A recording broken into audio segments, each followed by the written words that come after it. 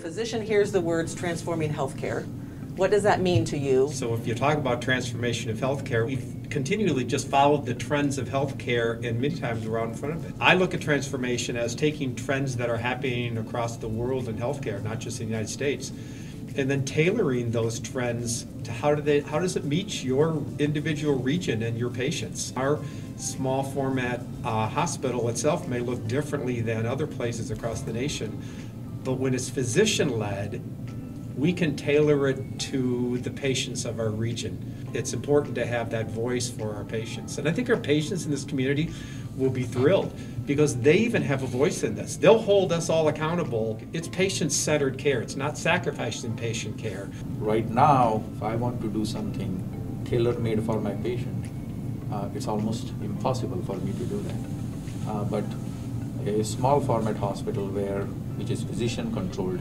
I will be able to do that for my patients. And I think that's my uh, main reason uh, to support uh, a short, small format hospital in Quincy. And transforming healthcare is bringing healthcare, providing it in a different way to the newer generation.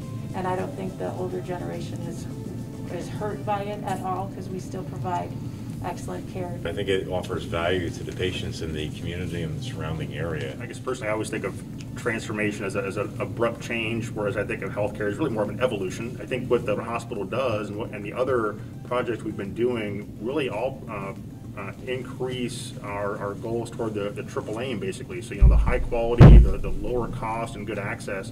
So obviously, another hospital will improve access to the community. Be, it's going to be a more efficient setting. Uh, it'll, it'll, decrease costs. Transformation is just giving them a choice. Um, you know, some people may want to stay at the larger hospitals. Some people may want to um, come to a smaller hospital, knowing it might be more efficient, more streamlined, and physician-led. We will have their interests at heart first.